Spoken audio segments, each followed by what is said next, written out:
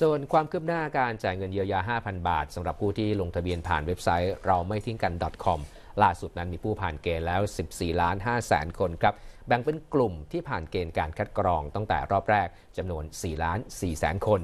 กลุ่มที่ขอข้อมูลประกอบอาชีพเพิ่มเติม และผ่านเกณฑ์จำนวนอีก 5 ล้าน3แสนคน และกลุ่มที่ขอทบทวนสิทธิ์สำเร็จอีก 4 ล้าน7แสนคนครับ ซึ่งกระทรวงการคลังก็จะเร่งโอนเงินให้กับผู้ที่ผ่านเกณฑ์ประมาณ 14 ล้าน4แสนคน2แสนคนนะครับภายในสัปดาห์นี้ครับ ส่วนที่เหลือเนี่ยนะครับอีกประมาณ3 0 0แสนคนจะนำไปรวมกับจำนวนผู้ที่ผ่านเกณฑ์เพิ่มขึ้นในแต่ละวัน จากกลุ่มผู้ขอข้อมูลประกอบอาชีพเพิ่มเติม และกลุ่มที่ขอทบทวนสิทธิ์นะครับ โดยจะโอนให้ครบทั้งหมดภายใน 14อ่าภายในสัปดาห์หน้าครับ ส่วนกรณีที่มีกลุ่มผู้ยื่นขอทบทวนสิทธิ์จำนวน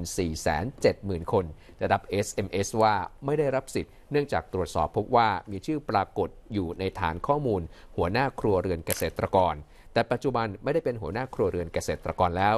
นายและวรนแสงสนิทผู้อำนวยการสำนักงานเศรษฐกิจการคลัง ในฐานะโฆษกกระทรวงการคลังก็ชี้แจงนะครับว่ากระทรวงการคลังนั้นได้ตรวจสอบพบว่าฐานข้อมูลเกษตรกร ที่กระทรวงการคลังได้รับจากกระทรวงเกษตรและสหกรณ์เดือนมีนาคม 2563 และใช้พิจารณาตรวจสอบคัดกรอง ผู้ได้รับสิทธิ์เยียวยา 5,000 บาท มีผู้เป็นหัวหน้าครัวเรือนเกษตรกรนั้นจำนวน 9 ล้านคน ต่อมาในเดือนเมษายนนั้น กระทรวงเกษตรในและสหกรณ์ได้เปิดให้เกษตรกรปรับปรุงข้อมูล การขึ้นทะเบียนเกษตรกรให้เป็นปัจจุบัน เพื่อรับสิทธิมาตรการเยียวยาเกษตรกรทำให้ฐานข้อมูลเกษตรกรนั้นเปลี่ยนแปลงไป